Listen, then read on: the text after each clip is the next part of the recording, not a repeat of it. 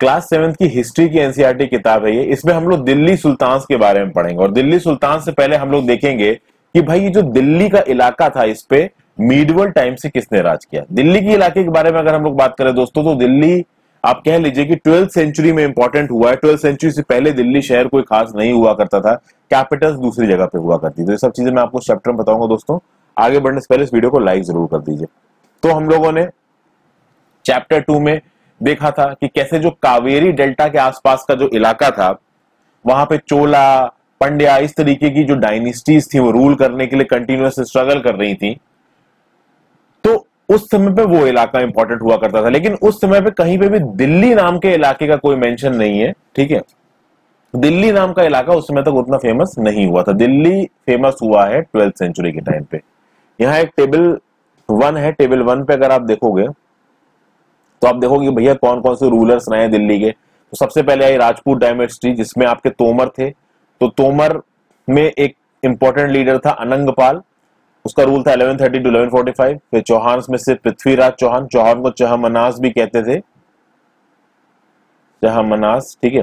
पृथ्वीराज चौहान का राज था 1175 से ग्यारह फिर टर्किश रूलर्स आए। तो टर्किश रूलर में आप देख सकते हैं कि सबसे पहले आए कुतुबुद्दीन ऐबक 1206 से 1210 इसको स्लेव डायनेस्टी भी बोलते थे गुलाम वंश उसके बाद उल्तुसमिश 1210 से 1236 रजिया सुल्तान 1236 से 1240 ये काफ़ी अच्छी एडमिनिस्ट्रेटर थी लेकिन इनको ठीक से राज करने दिया नहीं गया क्योंकि एक औरत थी यासुद्दीन बलबन बारह से बारह फिर आगे खिलजी डायनेस्टी में जलालुद्दीन खिलजी का टर्म है 1290 से बारह अलाउद्दीन खिलजी का बारह से 1316 आगे देखते हैं तुगलक डायनेस्टी में यासुद्दीन तुगलक 1320 से 1324 मोहम्मद बिन तुगलक 24 से इक्यावन फिरोज शाह तुगलक, इक्यावन से अट्ठासी।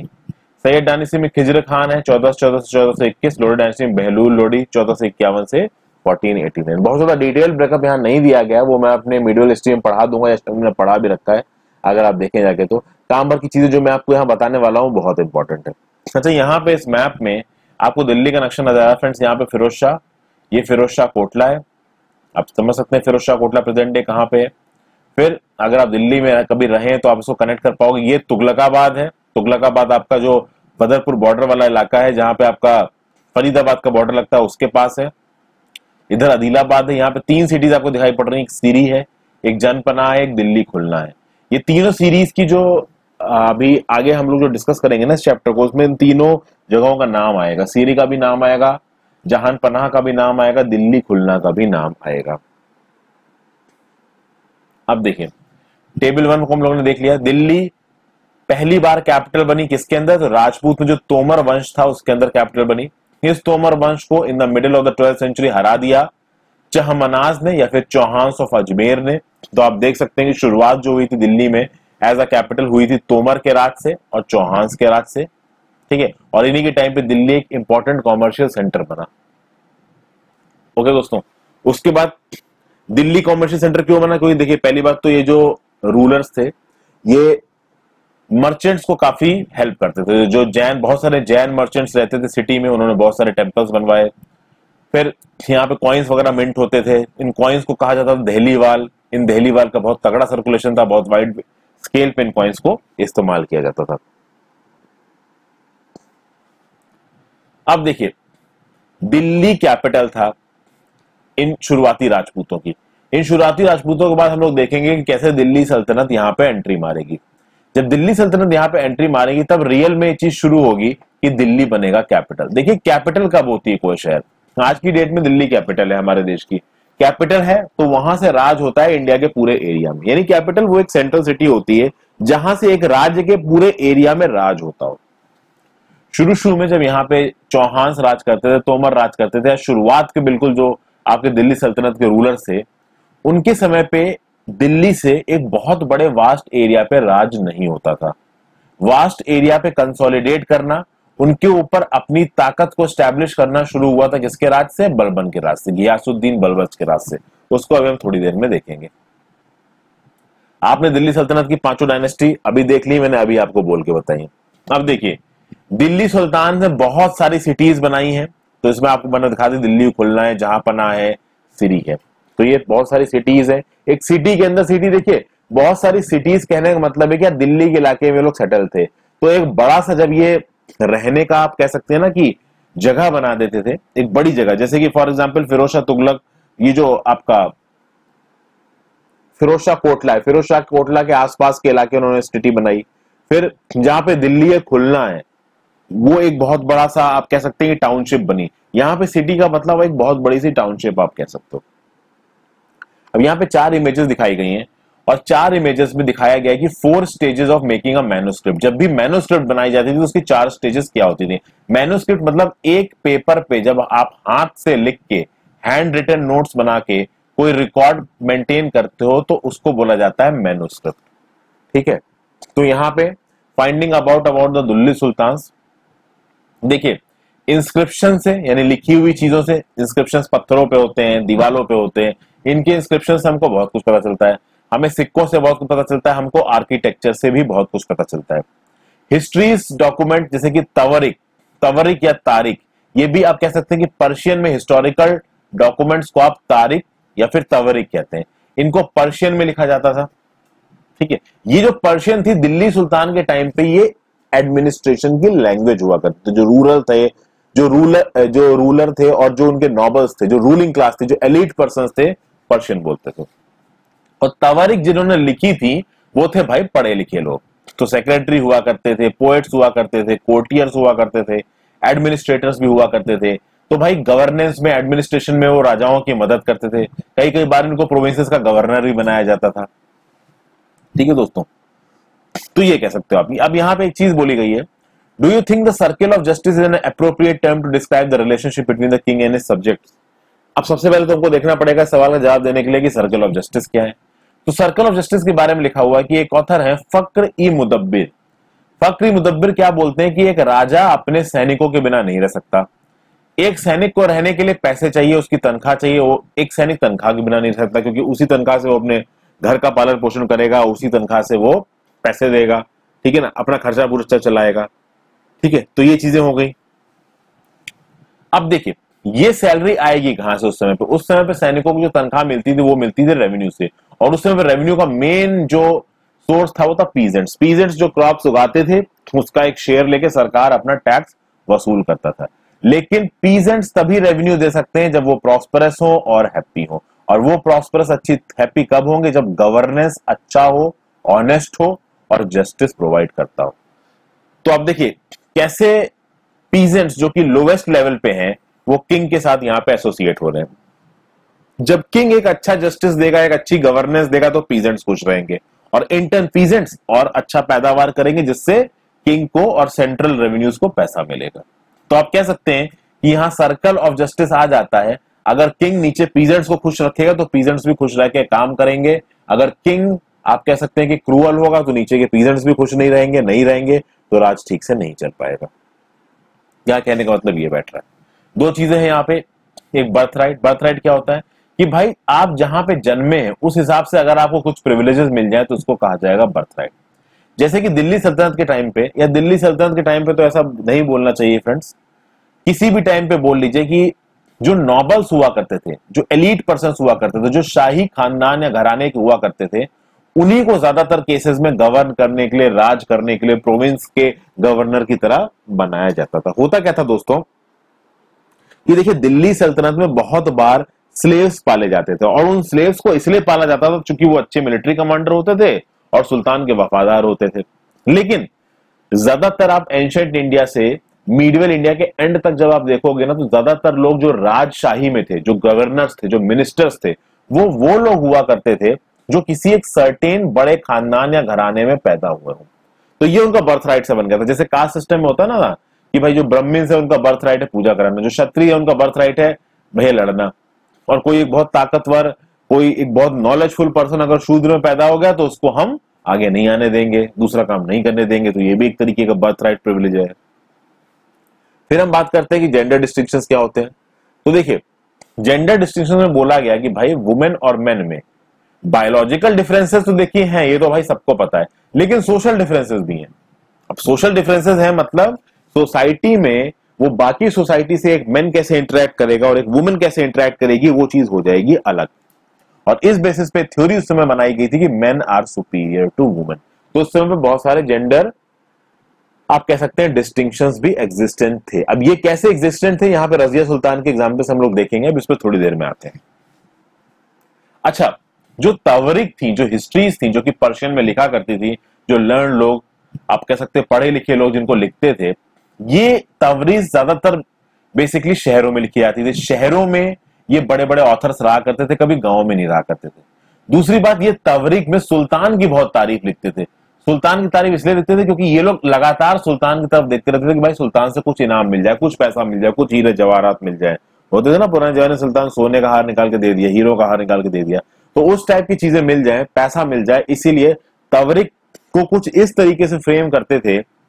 ये आप कह सकते हो कि जो लर्न स्कॉलर्स थे कि भाई, वो सुल्तान की बहुत तारीफ़ लिखी होती थी जिसमें कुछ कुछ कह रहे हो कि प्रशस्ति इसकी तरह होती थी ये तवरिक। प्रशस्ति क्या होता है ये मैं आपको बता चुका हूँ। उसके बाद ये जो ऑथर होते थे, जो तवरिक को लिखते थे, ये सुल्तान को हमेशा ये बताते थे कि आप कुछ इस तरीके का सोशल ऑर्डर बनाइए, कुछ इस तरीके का एडमिनिस्ट्रेटिव रूल बनाइए ताकि भाई बर्थ राइट को और जेंडर डिस्टिंक्शन को हम लोग कायम रख पाए सोसाइटी में। तो कुल मिला के ये ऑथर रूलर्स को बताते थे कि बर्थ राइट भी रहना चाहिए जेंडर डिस्ट्रिक्शन भी रहना चाहिए। क्योंकि ऑब्वियस ये बात है जो तवरिक लिखते थे, ये एलिट क्लास के लोग होते थे। और एलिट क्लास के लोग आपके बर्थ राइट पे तो फोकस देंगे ही। क्योंकि ऑब्वियस ही बात है, अगर वो बर्थ राइट पे फोकस नहीं देंगे, सबको इक्वल अपॉर्चुनिटी दे देंगे तो भाई नीचे का काबल आदमी आके उनको नीचे उठा के फेंक देगा। इसीलिए वो अपनी बादशाह बनाने के लिए हमेशा बोलते थे कि भाई बर्थ राइट को मानिए जेंडर डिस्क्रिमिनेशन को मानिए। अब जेंडर डिस्क्रिमिनेशन का भाई एक सबसे तगड़ा एग्ज़ाम्पल है जेंडर डिस्टिंक्शन का। 1236 में सुल्तान इल्तुतमिश की डॉटर रजिया सुल्तान बनी। रजिया बहुत ही, आप कह सकते हैं कि एफिशिएंट रूलर थी। उस समय पे जो क्रॉनिकलर थे मतलब जो लिखता था किताबें, जो हिस्ट्री बनाता था, ठीक है मिन हाज ई सिराज। उसने ये रिकॉग्नाइज किया कि भाई Raziya sultan was much more able and qualified than all other brothers Iltutmish के जितने भी बच्चे थे, चाहे इंक्लूडिंग बेटे, उनमें से सबसे ज़्यादा काबिल रजिया थी। ठीक है, इल्तुतमिश ने भी फेजर किया था कि वो सुल्तान बन जाए। लेकिन मिनहाज ई सरहाज और उसके साथ साथ जितने भी और नॉबल, एलिट, रूलिंग क्लास के लोग थे, उनको ये पसंद नहीं आया कि रजिया जो कि एक लेडी है, वो उनके ऊपर बैठ के उन पर राज करे, उनको हुक्म दे। था। इस मिनाज, इस राज का जो नाम था, पूरा नाम था, वो था अबू ओस्मान मिनहजुद्दीन बिन सिराजुद्दीन।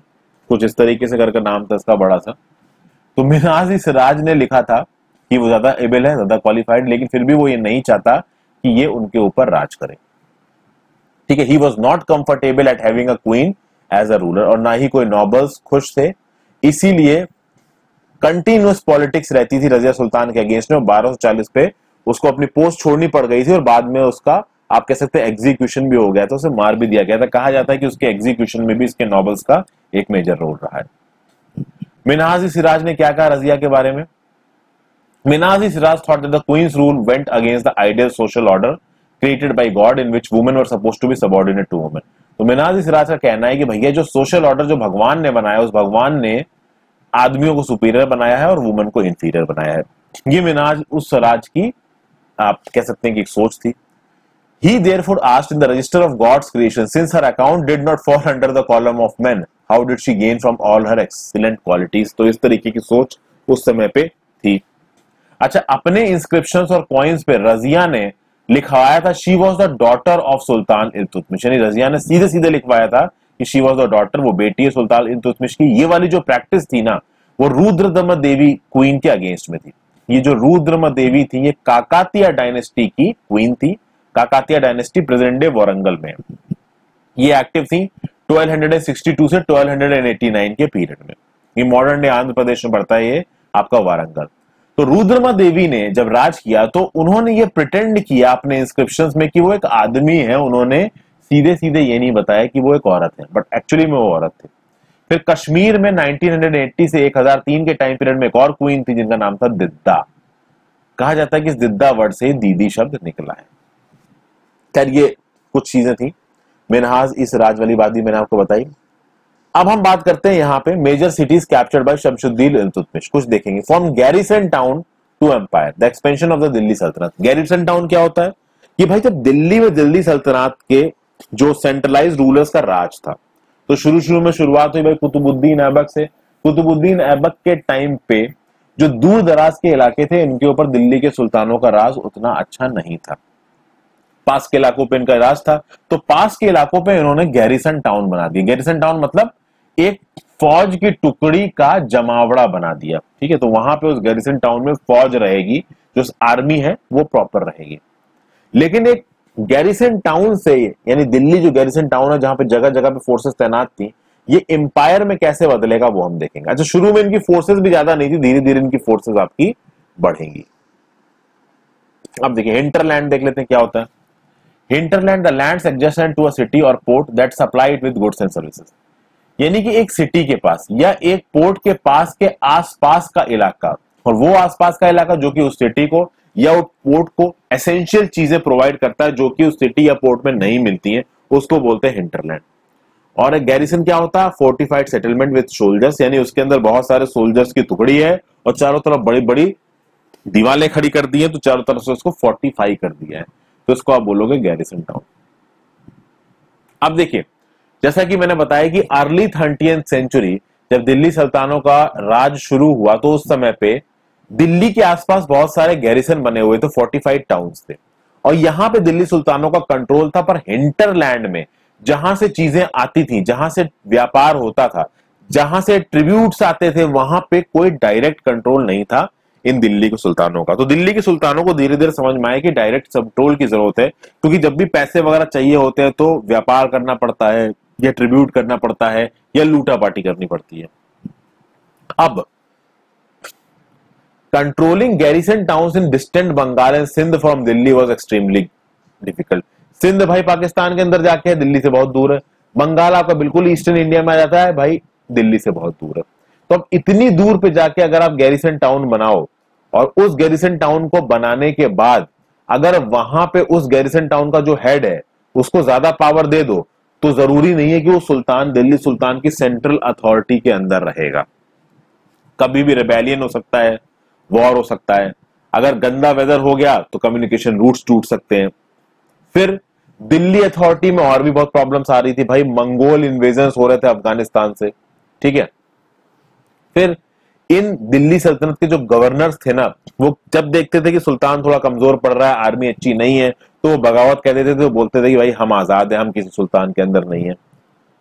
तो भाई सल्तनत शुरू शुरू में तो बहुत प्रॉब्लम में रही। लेकिन जैसे ही गियासुद्दीन बलबन का राज आएगा, बहुत मैसिव स्केल पे कंसोलिडेशन शुरू होगा और इस कंसोलिडेशन का भी एक एडवांस्ड फॉर्म देखने को मिलेगा अलाउद्दीन खिलजी के टाइम पे और बाद में मोहम्मद बिन तुगलक के टाइम पे।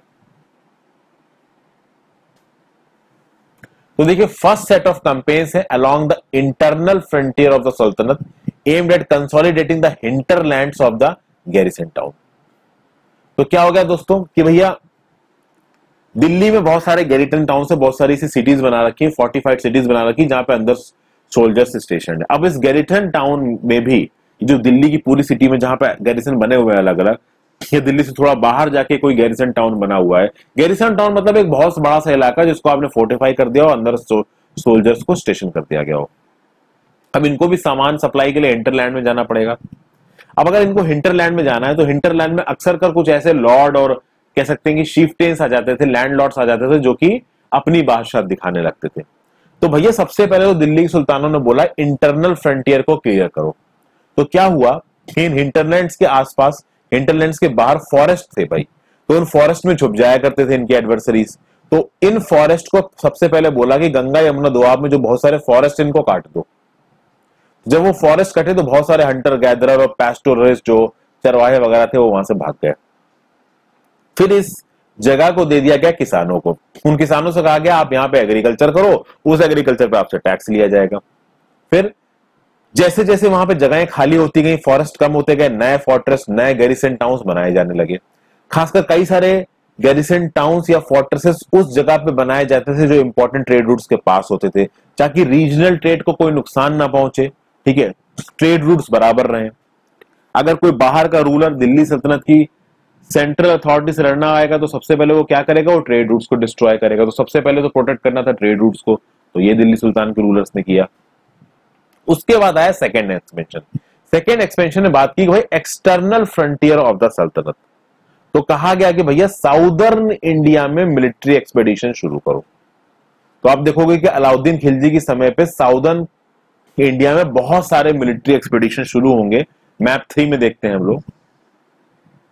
दिल्ली से भैया अलाउद्दीन की फोर्सेस गई गुजरात में, चित्तौड़ में रणथम्बोड़ में, मांडू में, फिर कारा में गई, वारंगल में गई, देवगिरी में गई, फिर देवगिरी में यादवों का राज था देवगिरी से फिर द्वार समुद्र में गई, दूर समुद्र, यहाँ पे होयसला का राज था फिर देर समुद्र से मदुरई में गई, थांजावुर में गई, वारंगल में गई वारंगल में काका तियास का राज तो आप देख सकते हैं कि भैया, ये जो अलाउद्दीन की फोर्सेस थी एक्सटर्नल फ्रंटियर्स भी क्रॉस किया। तो एक्सटर्नल फ्रंटियर्स यानी वो इलाके जो इनके कंट्रोल में अंदर नहीं हुआ करते थे, उन पे भी राज किया।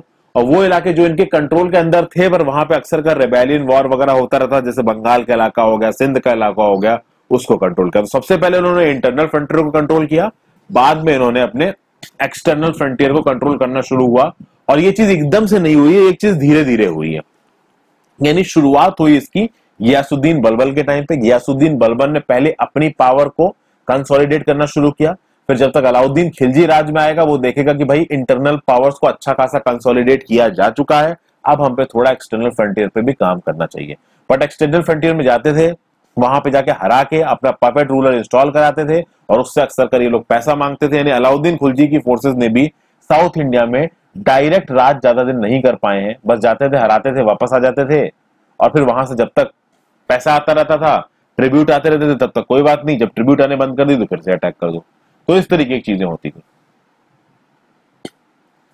जब इस तरीके के कैंपेन्स हुआ करते थे, जो दिल्ली सल्तनत की आर्मी थी ना, वो बहुत लूटा पार्टी करती थी तो स्लेव्स लूट लेती थी बहुत सारे प्रिशियस मेटल्स घोड़े, हाथी, इस तरीके की चीज़ों को लूट लाया करते थे। इनको हीरे जवाहरात भी बहुत सारे मिल जाते थे। जैसे यादव यादवों को हराया था उन्होंने। तो यादवाज ने इनसे बोला था कि हम आपको हीरे, जवाहरात, पैसे भेजते रहा करेंगे। जब पैसे भेजना बंद किया, ठीक है तो वो फिर से अटैक कर दिया। वो एक्जैक्टली अटैक कैसे हुआ, मैं आगे आपको अपनी वीडियोस में बताऊँगा। अभी तो यहाँ पे बुक के हम लोग दायरे में ही रहेंगे।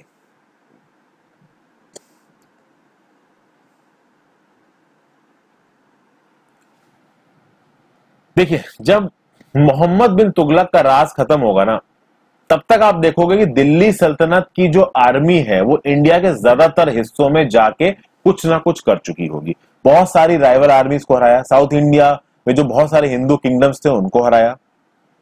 फिर सल्तनत ने पीजेंट्री से टैक्सेस को कलेक्ट किया और जस्टिस भी डिस्पेंस किया। तो आप कह सकते हो कि सल्तनत का जस्टिस सिस्टम थोड़ा सा एफिशिएंट था, पहले के रूलर से। ठीक है? फिर but how complete and effective was the control over such a vast territory तो ये देखना है यहाँ पे। अब यहाँ पे देखिए दोस्तों, एक बड़ा ही अच्छा फिगर आपको दिखा रखा फिगर टू ये क्या है? कवत अल इस्लाम मॉस्क है। और इसके अंदर एक मीनारट है जो बहुत फ़ेमस है, जिसको आप बोलते हो कुतुब मीनार। कुतुब मीनार इसी कुवत अल इस्लाम का जो आसपास का इलाका है ना, उसको बोलते हैं। हुआ ये देखो, जब कुवत अल इस्लाम बना ना फ्रेंड्स और इसके पास जो मीनार बनी ना, ये बनी है in the last decade of the twelfth century ये था एक कॉन्ग्रेगेशनल मास्क कॉन्ग्रेगेशनल मास्क को आज की डेट में आप जामा मस्जिद भी बोलते हो। ठीक है? जामा मस्जिद को कॉन्ग्रेगेशनल मास्क क्यों बोलते हैं? आपको पता है फ्रेंड्स फ्राइडे के दिन दोपहर में यहाँ पे जुम्मे की नमाज़ होती है। तो बहुत सारी भीड़ में लोग यहाँ इकट्ठा होते हैं।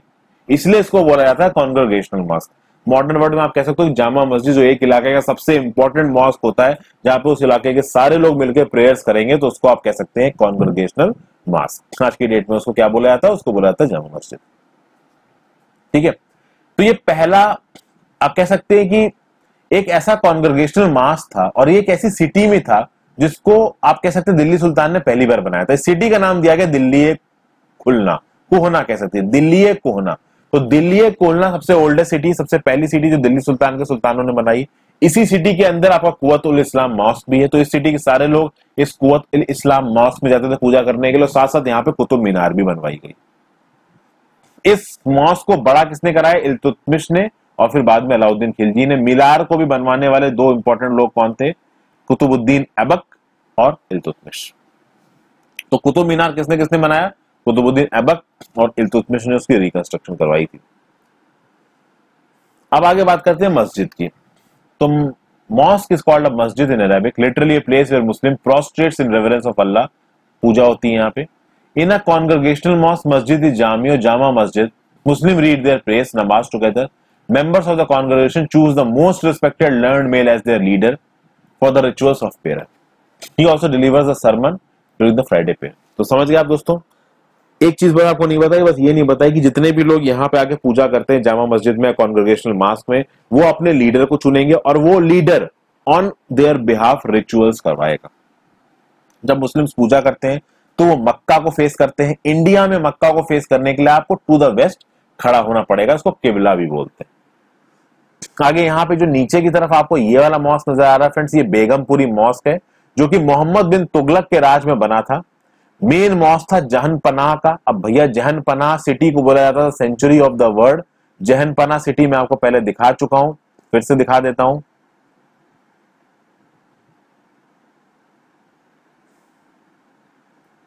यहाँ देखिए, ये रहा जहन पनाह आपका। मैंने आपसे कहा था ना कि आगे ये नाम आएँगे। अब देखिए दोस्तों। यहाँ पे एक फिगर फोर्थ है ये मौत की मस्जिद है। एमओटीएच बिल्ट ये सिकंदर लोधी के दौरान बनी थी। फिर इधर जो दिखाई जा रही है मॉस्क ऑफ़ जमाली है जमाली कमाली जो कि 1520 के टाइम पे बनी थी। दिल्ली सुल्तान के रूलर्स ने बहुत सारे मॉस्क को बनवाया। इन मॉस्क से मुस्लिम कम्युनिटी को एक पहचान मिलती थी। पता चलता था कि भाई मॉस्क में जो भी पूजा करने के लिए आ रहे हैं, वो इस्लाम के फॉलोअर्स हैं मुस्लिम से ये करना ज़रूरी क्यों था? क्योंकि देखिए, मुस्लिम कम्युनिटी के जो लोग थे, वो वेराइटी ऑफ़ बैकग्राउंड से आए थे। कुछ भाई बाहर के देशों से आए थे।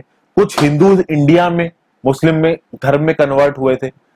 तो जो बैकग्राउंड था बहुत वाइड था। एक तो अलग अलग जगहों से आए थे, दूसरा कुछ लोग यहीं कन्वर्ट हुए थे। तो ये जो अलग अलग जगहों के जो मुस्लिम्स थे, इनको एक कॉमन ग्राउंड मिल सके घुलने मिलने के लिए, इसलिए मॉस्क बनवाए जाते थे उस टाइम पे। और मास्क में इनको सीख दी जाती थी कि भाई एक बिलीफ सिस्टम को फॉलो करना है, एक कोड ऑफ़ कंडक्ट को फॉलो करना है। अब हम लोग थोड़ा सा खिलजी और तुगलकों के दौरान जो एडमिनिस्ट्रेशन हुआ है और उनके अंदर जो कंसोलिडेशन हुआ है एम्पायर का, इसकी भी हल्की फुल्की बात कर लेते हैं।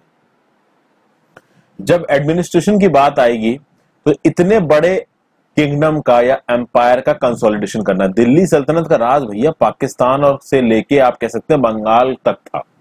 अब राज करने के लिए चाहिए रिलायबल गवर्नर्स भरोसेमंद गवर्नर्स और एडमिनिस्ट्रेटर्स चाहिए। वैसे तो नॉर्मली क्या चलता था हिसाब कि भैया एरिस्टोक्रेट्स को अपॉइंट करो लैंडेड चीफटेंस को गवर्नर अपॉइंट करो। लेकिन उसमें सेंट्रल अथॉरिटी कमज़ोर हो जाती है। जो लैंडेड चीफटेंस होते हैं, वो लोकल इलाके के राजा होते हैं। लोकल इलाके में उनका दबदबा होता है।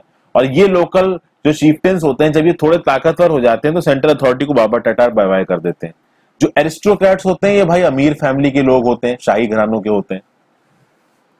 दिल्ली सुल्तान ने बोला, दिल्ली सुल्तान के जो सुल्तान थे शुरुआत के, उन्होंने बोला, नहीं भाई, ये एरिस्टोक्रेट और लैंडर चीफ्टिन को मैं कंट्रोल नहीं दूँगा। इल्तुतमिश ने बोला, मैं अपने जो स्पेशल स्लेव्स हैं, जिनको मैंने मिलिट्री सर्विस के लिए परचेज किया जिनको बंदगन कहा जाता है पर्शियन में, मैं इनको अपॉइंट करूँगा एज माई गवर्नर मुझे इन पे ज़्यादा भरोसा है in comparison to these aristocrats and landed chieftains और इन्हीं स्लेव्स को खास इस चीज़ के लिए ट्रेनिंग दी गई है कि ये भैया इंपॉर्टेंट इंपॉर्टेंट पॉलिटिकल ऑफ़िस पे बैठेंगे। और सबसे खास बात यह है कि ये जो स्लेव्स हैं, इनकी खुद की कोई पहचान नहीं है। इनकी जो भी पहचान है, वो इनके सुल्तान की वजह से ये जो कुछ भी है, इनके सुल्तान की वजह से है। तो जब इनको पता है कि ये जो कुछ भी है, इनके सुल्तान की वजह से लोकल अब सोचिए, एक ऐसा पर्सन एक ऐसा आदमी है, जिसके अंदर बहुत कैपेबिलिटी है। उसको एक जगह राज करने के लिए भेजा गया। अब जहाँ पे उसे राज करने के लिए भेजा गया, वहाँ पे वो किसी को नहीं जानता है। कोई उसे नहीं जानता है, कोई उसकी इज़्ज़त नहीं करता है, लेकिन सबको पता है कि भाई ये सुल्तान का फेवरेट है। तो उस केस में ये जो पर्सन होगा, जो राजा बनेगा, जो गवर्नर बनेगा, ये जो स्लेव होगा, वो पूरी तरीके से अपने सुल्तान पे डिपेंडेंट है। और जब वो पूरी तरीके से अपने सुल्तान पे डिपेंडेंट है तो वो सुल्तान की तरफ़ पूरी तरीके से वफादार होगा। और कई केसेस में इन स्लेव्स को सन से, बेटों से अच्छा कहा जाता है। उसका रीजन ये था कि कहा जा सकता था कि बेटे गद्दी के लिए बगावत कर सकते हैं, लेकिन एक स्लेव गद्दी के लिए कभी बगावत नहीं कहेगा। और ज़्यादातर केसेस में ऐसा हुआ है, ये बात सच भी है। अब यहाँ पे क्लाइंट का यूज़ होगा। क्लाइंट का मतलब क्या है? Someone who is under the protection of another a dependent और अ हैंगर ऑन यहाँ पे क्या होगा? देखिए, खलजी और तुगलक, ये जो दो डायनेस्टी थी, इन्होंने बंधगन का प्रयोग किया। खलजीज ने भी भाई आपके स्लेव को अपॉइंट किया आपने और तुगनक्स ने भी किया। खलजी ने तो भैया, खलजी सलाउद्दीन खिलजी ने तो अपने स्लेव को भेजा जाने कितने राज्यों को दबाने के लिए साउथ इंडिया में, बताइए इस स्लेव का नाम क्या था? बहुत आसान सवाल है, सबको ही पता होगा। तो ये जो स्लेव्स होते थे, बहुत हम्बल बर्थ के होते थे, बहुत नीचे से उठे हुए लोग होते थे। ठीक है तो खलजी ने Tughlaq continue to use bandagan and also raised people of humble birth who were often called their clients to high political position तो ये जो लोग थे, जो स्लेव्स थे खिलजी जो तुगलक के सुल्तान के क्लाइंट थे। हाई पॉलिटिकल पोजीशन से बैठाया गया, इनको गवर्नर की पोस्ट दी गई जनरल्स की पोस्ट दी गई, ठीक है? अब इससे होगा क्या दोस्तों? उससे होगा ये कि आप आगे आने वाले समय में देखेंगे कि पॉलिटिकल इंस्टेबिलिटी आएगी। जैसे मान लीजिए कि एक सुल्तान ने एक स्लेव को अपॉइंट किया। अब वो स्लेव अपने सुल्तान के लिए पूरा खिदमतगार है। जब सुल्तान आएगा तो उसने कदमों में गिर जाएगा। लेकिन जब ये सुल्तान मरेगा और सुल्तान का बेटा जब गद्दी पे बैठेगा तो उस बेटे की तरफ़ ये स्लेव पूरी तरीके से लॉयल नहीं होगा। यहाँ पे एक रिफ्ट डेवलप हो जाएगी। यहाँ पे ये स्लेव बोलेगा कि भाई, तुम कौन?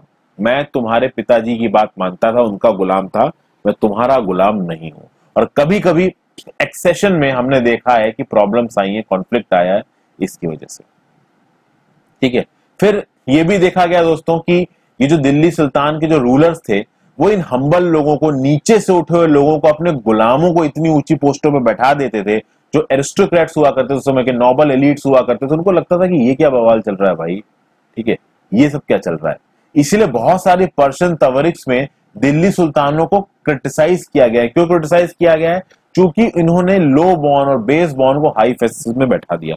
कहने का मतलब ये था कि जो ऊँचे राजघरानों में पैदा हुए थे, उनको राजगद्दियों में बैठाने के अलावा गरीबों को आप कह सकते हो, देखिए, सुल्तानों उल्तुतमिश ने जिनको भी गद्दी में बैठाया, वो स्पेशली परचेज स्लेव थे, जो मिलिट्री माइट में बहुत अच्छे थे। लेकिन यहाँ पे, देखिए, सुल्तान मोहम्मद तुगलक की कितनी बुराई लिखी हुई है। कहा जाता है, सुल्तान मोहम्मद तुगलक ने अज़ीज़ खम्मार, जो कि एक वाइन डिस्टिलर था, फिरोज हजाम, जो कि एक नाई था, मंका तबाक, जो कि एक खाना बनाने वाला था, बावर्ची था, दो गार्डनर्स लाधा और पीरा, इनको हाई एडमिनिस्ट्रेटिव पोस्ट दे दी। जब इनको हाई एडमिनिस्ट्रेटिव पोस्ट दी सुल्तान मोहम्मद तुगलक ने तो जियाउद्दीन बर्नी ने बोला फोर्टीन सेंचुरी का क्रॉनिकल था जियाउद्दीन बर्नी, उसने बोला कि भाई सुल्तान पागल हो गया, इसका पॉलिटिकल एक्यूमेन और जजमेंट चला गया है, अब ये रूल करने के काबिल नहीं है he is incapable to rule ये तक बोल दिया जियाउद्दीन बर्नी ने। अब सुल्तान मोहम्मद बिन तुगलक ने इन लोगों को कौन से बेसिस पे अपॉइंट किया, ये तो नहीं बोला जा सकता, ठीक है? बट हाँ किया था। तो देखिए, कुछ अपॉइंटमेंट्स होते थे जो मेरिट पे नहीं होते थे। जैसे इल्तुतमिश ने जब अपॉइंटमेंट शुरू किया, आप कह सकते हैं, अलाउद्दीन खिलजी ने जब अपॉइंटमेंट शुरू किया तो उसने अपने खास मिलिट्री स्लेव्स को अपॉइंट किया एज गवर्नर। और ये मिलिट्री स्लेव्स काबिल थे। लेकिन यहाँ पे देख रहे हैं कि सुल्तान मोहम्मद बिन तुगलक बार बार को और वाइन डिस्टिलर को हाई एडमिनिस्ट्रेटिव पोस्ट पे अपॉइंट कर रहे हैं, यानी यहाँ पे क्रिटिसाइज करना बनता है इनको। फिर देखेंगे दोस्तों खिलजी और तुगलकों ने, ठीक है ना मिलिट्री कमांडर्स को as governors of various territories appoint किया। और जो जमीनें इन गवर्नर्स के अंदर थी इन मिलिट्री कमांडर्स के अंदर थी, उन जमीनों को बोला गया इकता। और इन जमीनों का जो मालिक था उस समय के लिए, जो फ़िलहाल के लिए गवर्नर अपॉइंट किया गया तो उसको बोला गया इकतादार या उसको मुक्ति भी बोला गया। इस मुक्ति सिक्तादार का काम था कि भैया, अगर कहीं पे मिलिट्री कैंपेन करने हैं तो भैया आपको इन मिलिट्री कैंपेन में लीडर बनना पड़ेगा। मलिक कपूर बहुत से मिलिट्री कैंपेन किए उसने साउथ में। और इन्हीं मुक्तीज का और इकतादार का काम है कि भाई लॉ एंड ऑर्डर को भी मेंटेन करना है अपने इकताज में, अपने लैंड में। इसके बदले में इनको क्या मिलता था? तो भैया इन मुक्तीज को ज़मीन मिलती थी। उस ज़मीन से ये लोग रेवेन्यू इकट्ठा करते थे। वो रेवेन्यू इनकी तनख्वाह होती थी। उसी रेवेन्यू से ये अपने सोल्जर्स की तनख्वाहें भी देते थे। अब इन मुक्तीज के ऊपर कंट्रोल कैसे किया जाए? आप देखिए, मुक्तीज इकतादार्स को अगर आप रेवेन्यू कलेक्ट करने की ताकत दे रहे हो तो आप उनको स्टेट की ताकत दे रहे हो। चूँकि आप उनको टैक्स की ताकत दे रहे हो। तो कैसे आप उनको कंट्रोल करोगे? उनको आप कंट्रोल ऐसे करोगे कि आप बोलोगे कि भाई, जो मुक्ति है, ये जो इकतादार है, इसकी पोस्ट इनहेरिटेबल नहीं है। इनहेरिटेबल मतलब कि इस इकतादार का बेटा इकतादार नहीं बनेगा। और इनको इकता इकताज जो दिया जाता था लैंड का जो कंट्रोल दिया जाता था, वो एक सर्टेन टाइम पीरियड के लिए दिया जाता था। और इनका टाइम पीरियड उस टाइम पीरियड खत्म होने के बाद इनका इकता बदल दिया जाता था, या ऑफिशियल को बदल दिया जाता था।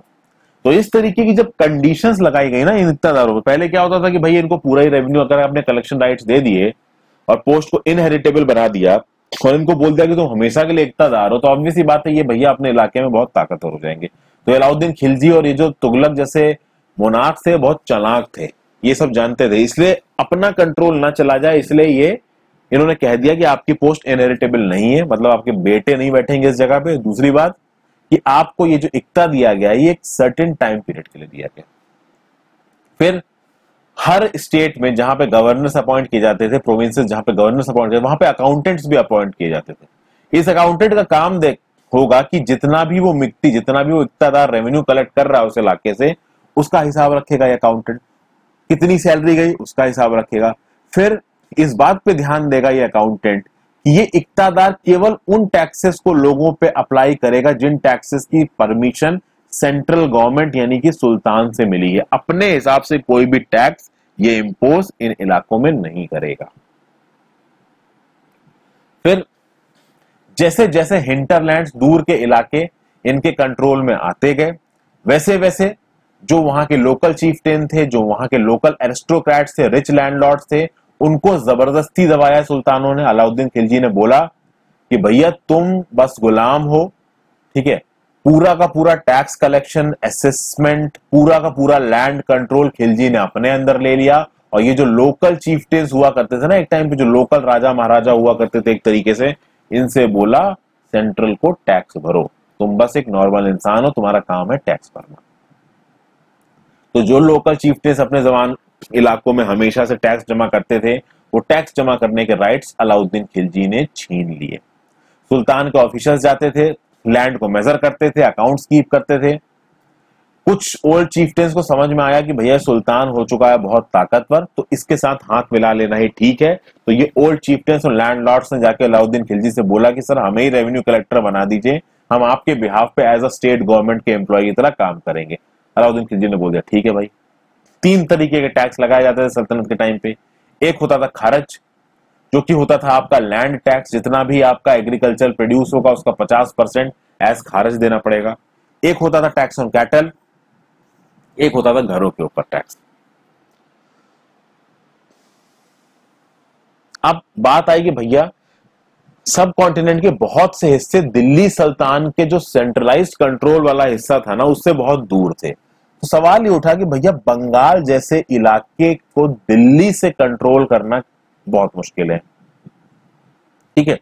तो कई बार ऐसा हुआ कि भाई दिल्ली से अलाउद्दीन खिलजी ने अपनी फौज भेजी, साउदर्न इंडिया के किसी एक राज्य में, जैसे कि यादवास को दबा के उन्होंने उसको कब्जा किया। फिर अगला रूलर आया, उसने बोला, मैं भैया, आपका गुलाम नहीं हूँ, मैं इंडिपेंडेंट हूँ। तो इस तरीके से बहुत सारे रिबेलियंस बहुत सारे वॉर्स इस तरीके की चीज़ों को भी दिल्ली सुल्तान को अक्सर कर झेलना पड़ता था। फिर जो गंगैटिक प्लेन का इलाका था, वहाँ बहुत सारी फॉरेस्ट हुआ करते थे। तो फॉरेस्ट में सुल्तान की आर्मी ज़्यादातर पेनिट्रेट कर नहीं पाती तो उनको फॉरेस्ट टेरेन की उतनी आदत थी नहीं। और फॉरेस्ट के अंदर जो लोग रहते थे ना, ठीक है दोस्तों, उनको वहाँ की आदत थी। तो वो अपने आप को छुपा लेते थे। यहाँ पे देखिए chieftains and their fortification Ibn Battuta ने लिखा है इब्न बतूता मोरक्को से आया था।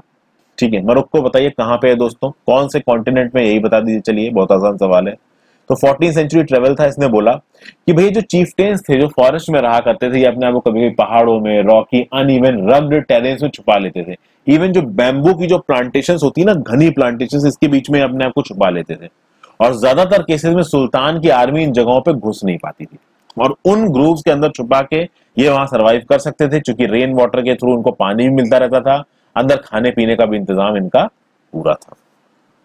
तो अगर तो आर्मी के पास ऐसे स्पेशल इंस्ट्रूमेंट्स हैं, जिसको खोद के अंदर निकाल लिया तो निकाल लिया, नहीं तो ये जो लोकल चीफ टेज थे, ये दिल्ली सल्तनत की सेंट्रल रूल से बगावत कर देते थे और इन प्लांटेशन के अंदर छुप जाते थे। और कई बार ऐसा होता था कि सल्तनत के ऑफिशियल्स वहाँ पहुँच नहीं पाते थे। फिर भाई 1219 में एक बवाल हुआ। गेंगिस खान जो कि मंगोल लीडर था, उसने ट्रांजो सैक्सिया ये नॉर्थ ईस्ट ईरान में आई एम सॉरी अगर मैं गलत प्रोनाउंस कर रहा हूँ ट्रांजोसियाना नॉर्थ ईस्ट ईरान में इस पर अटैक किया और फिर उसने बोला कि भाई मैं दिल्ली सल्तनत के इलाके में दिल्ली में करूँगा अटैक तो दिल्ली पे उसका अटैक हुआ। अलाउद्दीन खिलजी के टाइम पे अटैक बहुत हुआ। मोहम्मद बिन तुगलक के शुरुआती टाइम में अटैक बहुत हुआ। दोनों लोग मंगोल्स को हराने में कामयाब रहे। लेकिन अलाउद्दीन खिलजी के समय से ये बात क्लियर हो गई थी कि भाई ये मंगोल्स का अटैक बढ़ रहा है, इसलिए दिल्ली में एक लार्ज स्टैंडिंग आर्मी ज़रूरी है। अब चूँकि एक लार्ज स्टैंडिंग आर्मी होगी तो एक बहुत बड़ा एडमिनिस्ट्रेटिव चैलेंज होगा, एक बहुत बड़ा फाइनेंशियल चैलेंज होगा। क्योंकि जब आर्मी मेंटेन होगी तो उसको सैलरी देनी पड़ेगी सैलरी देने के लिए उसको पैसे देने पड़ेंगे। तो यहाँ पे कुछ चीज़ें करी दोनों रूलर्स ने। अलाउद्दीन खिलजी ने क्या किया? दिल्ली में दो बार अटैक हुआ, एक तो बारह सौ निन्यानवे, तेरह सौ में तेरह सौ दो, तेरह सौ तीन में। तो भैया अलाउद्दीन खिलजी समझ में आ गया कि एक आर्मी बनानी पड़ेगी। आर्मी के लिए उसने बहुत सारे गैरिसन टाउन बनवाए। एक जो इंपॉर्टेंट गैरिसन टाउन था, वो सीरी था। सीरी को मैं नंबर मैप वन मैप में आपको दिखा चुका हूँ। यहाँ देखिए, यहाँ रहा सीरी ये है सीरी आई होप आप किताब खोल के बैठे दोस्तों। उसके बाद देखते हैं। फिर जो सोल्जर्स हैं, जो आपके बैट आर्मी से तरफ़ से लड़ रहे हैं, उनको खाना खिलाना पड़ेगा। खाना कैसे खिलाएँगे? तो भाई वो जो अनाज था, वो जो आप कह सकते हैं वीट था, जो ग्रेन था, जो कि क्रॉप की तरह पैदा हो रहा था जिस पर पचास परसेंट का टैक्स ले रहे थे, उस टैक्स से इनको खाना मिलेगा। लेकिन अब कैसे दिया जाएगा? देखिए सोल्जर्स को दिया जाता था पैसा, और अलाउद्दीन अपने सोल्जर्स को इकता ना देके कैश देता था। और इस कैश से जाके वो सामान खरीद सकते हैं। अब सवाल ये उठता है कि जब मार्केट में वो सामान बिकेगा अगर वो ज़्यादा रेट पे बिकेगा तो हो सकता है ये कैश इन सोल्जर्स के लिए कम पड़ जाए, लेकिन यहाँ पे अलाउद्दीन खिलजी का मैनेजमेंट सामने आ गया। अलाउद्दीन खिलजी ने पूरे मार्केट को कंट्रोल कर दिया मार्केट कंट्रोल रिफॉर्म्स निकाल दिए। और मर्चेंट्स और सारे लोग जो थे ट्रेडर्स थे, उनको स्ट्रिक्ट इंस्ट्रक्शंस मिले कि भैया अनाज या ग्रेन केवल इस दान पे बेचा जाएगा। और उस दान को कुछ इस तरीके से रखा गया कि जितनी इन सोल्जर्स को तनख्वाह दी जाती थी, उतने में आराम से इनका अनाज और बाकी चीज़ें आ जा सकती। तो मार्केट रिफॉर्म्स बहुत सारे लेके आया था अलाउद्दीन खिलजी। पूरा मार्केट को उसने कंट्रोल कर दिया था प्राइस कंट्रोल कर दिया था। हर चीज़ उसके हिसाब से, उसके दाम के हिसाब से बिक रही थी मार्केट में। फिर अलाउद्दीन के बहुत सारे एडमिनिस्ट्रेटिव मेजर्स की बड़ी तारीफ़ हुई है। जैसा कि मैंने बताया, उसने मार्केट कंट्रोल किया था तो प्राइसेस चीप थी। इस बात पे हिस्टोरियंस ने बहुत सराहा है अलाउद्दीन खुलजी को। जो सप्लाई चेन थी मार्केट में अलग अलग चीज़ों की, वो भी बहुत अच्छी थी। और अलाउद्दीन खिलजी मंगोल्स के इन्वेजन को भी सक्सेसफुली रोक पाया। ये उसकी एक, आप कह सकते हैं अचीवमेंट है। वहीं पे मोहम्मद बिन तुगलक की बात करते हैं। मोहम्मद बिन तुगलक का जब रूल था दिल्ली सल्तनत पे तो भैया उसके शुरुआत में ही मंगोल का अटैक हुआ। मंगोल की आर्मी तो हार गई, लेकिन मोहम्मद बिन तुगलक को समझ में आया कि भाई अब एक काम करते हैं, अब हम इन मंगोल के इलाकों पर अटैक करेंगे। तो कहा गया कि ट्रांजोसियाना जिनको मंगोल्स ने पहले जीता था, इस पर अटैक करेंगे। इसलिए ह्यूज आर्मी बनाई मोहम्मद बिन तुगलक ने। हालाँकि उसका ये जो आइडिया था, तगड़ा फेल हुआ था। अब कुल मिला के देखा जाए तो दिल्ली के आसपास के इलाके को स्ट्रांग करना चाहिए, एक गैरिसन टाउन बनाना चाहिए, ठीक है? तो इसने क्या किया? मोहम्मद बिन तुगलक ने नया गैरिसन टाउन बनाने के बजाय जो चार सिटीज़ थी ना दिल्ली में, जैसे सीरी जहान पनाहा दिल्ली खुलना, देखिए तो दिल्ली खुलना को खाली करवा दिया इसने। और दिल्ली खुलना में सोल्जर्स का गैरिसन बना दिया। नया गैरिसन नहीं बनवाया। दिल्ली खुलना सिटी को खाली करा के वहाँ पे सोल्जर्स को बैठा दिया। और सोल्जर्स को जो लोग थे वहाँ पे, जिनको वहाँ से निकाला तो सिटी को खाली कराया, वहाँ पे सोल्जर्स का गैरिसन बना दिया। और उन लोगों से कहा कि पैदल यात्रा शुरू करो, हम दौलताबाद जा रहे हैं साउथ में। दौलताबाद हमारी नई कैपिटल होगी। ये जो उसका एक्सपेरिमेंट था, गजब फेल हुआ। तो इस पर मैंने वीडियो बना रखी है, अपने चैनल पे आप जाके देख सकते हैं। फिर बात आई दोस्तों की, अब इतनी बड़ी आर्मी है तो उसको खाना भी खिलाना पड़ेगा। तो अलाउद्दीन खिलजी जैसा अच्छा मैनेजमेंट यहाँ पे मोहम्मद बिन तुगलक के टाइम पे था नहीं। आर्मी के एक्सपेंसेस को मीट करने के लिए सुल्तान ने लगा दिए कुछ एक्स्ट्रा टैक्सेस और वो टैक्सेस लगाने वक्त उसके ऑफिसर्स ने उससे बोला कि अभी टैक्सेस मत लगाइए, लेकिन वो माना नहीं। उसी समय पे भाई फमीन आ गया। फार्मर्स ने बोला, हम खेती बाड़ी करेंगे ही नहीं। मोहम्मद बिन तुगलक दौड़ा के उन फार्मर्स को मारने लगा। बात इतनी ज़्यादा हाथ से बाहर निकल गई। पूरे का पूरा कंफ्यूजन फैल गया। क्योंकि तो फेमिन आ गया था ऊपर से टैक्स लगा रहा है तो फेमिन में पैदावार हुई नहीं एग्रीकल्चर की। और टैक्स मांगा जा रहा है लोगों से तो लोगों ने भी कहा, हम एग्रीकल्चर नहीं करेंगे। बाद में जब मोहम्मद में तुगलक को बात समझ में आई कि सही में लोग परेशान है तो उसने कहा कि भाई, सबका एग्रीकल्चरल लोन माफ़ कर दो। लेकिन तब तक काफ़ी बवाल हो चुका था, काफ़ी प्रॉब्लम हो चुकी थी। मोहम्मद बिन तुगलक भी अपनी सोल्जर्स को सैलरी कैश में देता था। बट प्रॉब्लम ये होगी, वो कैश था टोकन करेंसी टोकन करेंसी में क्या था? दोस्तों, आज की डेट की प्रेजेंट डे पेपर करेंसी की तरह था, लेकिन आज के डेट का जो पेपर करेंसी है ना, उसको आरबीआई बनाता है और उसको सेट स्टैंडर्ड्स और नॉर्म्स के हिसाब से बनाता है। हर कोई नोट नहीं बना सकता ऐसे। तो यहाँ देखिए but instead of controlling prices उसने टोकन करेंसी का इस्तेमाल किया और वो टोकन करेंसी ऐसी थी जो ना गोल्ड की थी, ना सिल्वर की थी। वो टोकन करेंसी ऐसी थी जो लोग अपने घर में बनाना शुरू कर दिया, लोहारों ने। और इतनी ज़्यादा बढ़ गई वो टोकन करेंसी होता ही है ना करेंसी एक ऐसी चीज़ होती है जिसको केवल स्टेट इशू करे तो ही उसकी वैल्यू है। अगर घर घर में करेंसी बनने लगी तो उसकी कोई भी वैल्यू नहीं बचेगी और ऐसा ही मोहम्मद बिन तुगलक के राज में हुआ। फिर आगे देखते हैं, मोहम्मद बिन तुगलक के जो एडमिनिस्ट्रेटिव मेजर्स थे वो भी भैया फेल्योर थे। कश्मीर में जो उसका अटैक करने का प्लान था, बिल्कुल बर्बाद हो गया। बाद में उसने बोला कि भैया, जब उसके, कहते हैं ना कि पहाड़ों के पास से जब उसकी आर्मी निकल रही थी हिमालयाज में इतनी ठंडी थी उस समय पे कि बहुत सारे सोल्जर्स तो ऐसे ही मरने लगे। तो उसको समझ में आया कि ये जो प्लान है ना ट्रांसोक्सियाना को अटैक करने का, भाई ये सक्सेसफुल हो नहीं पाएगा, इसलिए उसने इस प्लान को छोड़ दिया फाइनली वो तब छोड़ा जब जाने कितने लोग मर गए। जब दौलताबाद शिफ्ट करने का जो कैपिटल प्लान था, उसमें भी बहुत सारे लोग रास्ते में मर गए तो भी उसको समझ में आया भाई की गड़बड़ हो गई। टैक्स बढ़ाया था जो उसने फैमिन के समय पे जो टैक्स बढ़ाया था, उसके चक्कर में बहुत सारा रेबिलियन हो गया। तो एंड में उसके बहुत सारे जो मेजर्स थे ना, वो फेल हो गए। जिसके चलते में इसको पगला सुल्तान भी बोला जाता है। कहते हैं ना कभी कभी आपने जोक सुना होगा कि तुगलक हो क्या? तुगलक मतलब आप तानाशाह हो क्या? पागल हो क्या जो एक जगह बैठ के आप वो चला रहे हो राज चला रहे हो? फिर भले ही मोहम्मद बिन तुगलक अपने बहुत सारी चीज़ों में फेल हुआ है लेकिन मोहम्मद बिन तुगलक वो पहला रूलर था दिल्ली सुल्तान का, जिसने सोचा था फ़र्स्ट टाइम कि भाई एक मंगोल टेरिटरी पे अटैक करके इस पे कब्जा करेंगे। अब तक मंगोल दिल्ली सल्तनत पे कब्जा कर रहे थे और उनको डिटर कर रहे थे दिल्ली सल्तनत के रूलर्स तो अब तक मंगोल्स की जो पॉलिसी थी वो थी डिफेंसिव पहली बार ऐसा हुआ कि तुगलक के समय पे जो दिल्ली सल्तनत की पॉलिसी थी वो हुई अटैकिंग हालाँकि अटैक हो नहीं पाया, क्योंकि इतने स्ट्रांग ये थे नहीं। तो सल्तनत in the fifteen and sixty century की बात कर लेते हैं। आप देखोगे फ्रेंड्स कि तुगलक्स के बाद कौन आएँगे? तो तुगलक्स के बाद आएगी सैयद डायनेस्टी और फिर आएगी लोधी डायनेस्टी ये उतनी इंपॉर्टेंट डायनेस्टीज है नहीं। दिल्ली, आगरा से ये रूल करते थे पंद्रह छब्बीस के अराउंड उस समय में बहुत सारे छोटे छोटे राज्य जिवाड़े आगे आ चुके थे। जैसे जौनपुर, बंगाल, मालवा, गुजरात, राजस्थान। साउथ इंडिया में बहुत सारे इंडिपेंडेंट रूलर्स थे। उनके एफिशिएंट रूलर्स थे कैपिटल्स प्रॉस्पेरस थी। अफगान राजपूत के बहुत सारे ग्रुप्स ऊपर निकल आए। उस समय पे एक और बहुत इंपॉर्टेंट रूलर आएगा, जिसका नाम था शेर शाह सूरी। शेर शाह सूरी, उसके अंकल रहते थे बिहार में, उनकी छोटी सी टेरिटरी थी, वहाँ मैनेजर की तरह काम करता था, लेकिन वो बहुत काबिल और बहुत पैशनेट इंसान था और एंड में देखेंगे कि भाई उसने मुगल एम्पर हुमायूं को हराया। तो मुगल एम्पर ने राज किया, बाबर के बाद हुमायूं आया, उसने 1530 से 1540 तक राज किया 1540 में हुमायूं शेरशाह सूरी से हार गया। और भाग गया अपनी जान को बचाते हुए। एक परिया ने अपने कंधे को उठा के रिवर्स से उसको खींचता हुआ ले गया। नहीं तो शेरशाह सूरी हुमायूं को मार देता, मुगल एम्पायर वहीं खत्म हो जाता। शेरशाह सूरी ने 1540 से लेकर 1555 तक राज किया। 1555 में फिर हुमायूं आएँगे 1556 राज करेंगे। 1556 से शुरू होगा अकबर का राज, कब तक चलेगा? 1605 तक। फिर शेरशाह सूरी देखेंगे, दिल्ली को कैप्चर करेगा, अपनी खुद की डायनेस्टी बनाएगा, जिसको सूरी डायनेस्टी बोलते हैं। सूरी डायनेस्टी का राज केवल पंद्रह सालों का था, पर उस समय पे एडमिनिस्ट्रेशन के फ़ील्ड में बहुत कुछ अच्छा हुआ। मान सिंह करके एक बहुत एफिशिएंट आप कह सकते हैं कि अकबर के कोर्ट में एक पर्सन थे, दहसला सिस्टम ऑफ़ एडमिनिस्ट्रेशन ये मान सिंह ने चलाया था। मान सिंह ने सीखा कहाँ था ये सब? शेर शाह सूरी के साथ काम करते हुए सीखा था।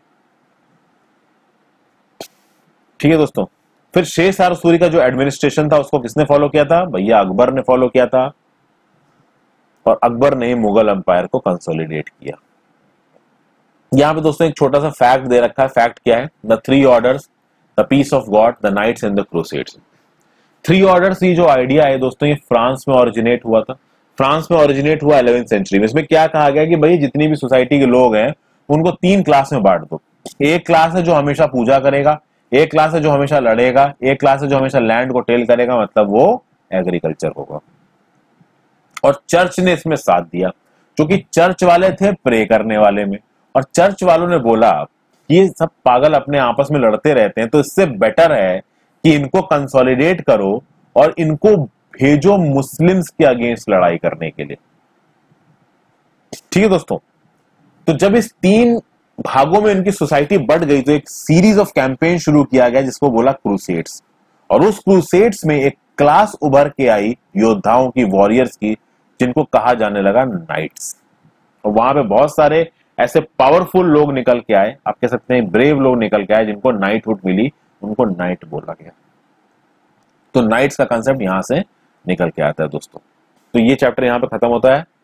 जितना कम समय में हो सका, उतने कम समय मैंने आपको चीज़ें समझाने की कोशिश की। सब वर्ड का नाम क्या, खर्च क्या था? याद करिए टैक्स था एक तरीके का जेंडर मंगोज गैरिसन तारीख एकता, ये सब कुछ मैंने आपको समझाया। हालाँकि बहुत बेसिक मीडियल हिस्ट्री की यहाँ पे बात हुई है डिटेल मीडियल हिस्ट्री को मैं अपनी मीडियल हिस्ट्री की प्लेलिस्ट में थोड़ा बहुत अब तक समझाया और थोड़ा आगे समझाऊँगा। So thank you for watching friends video को लाइक ज़रूर कर देना और बिना सब्सक्राइब किए मत जाना।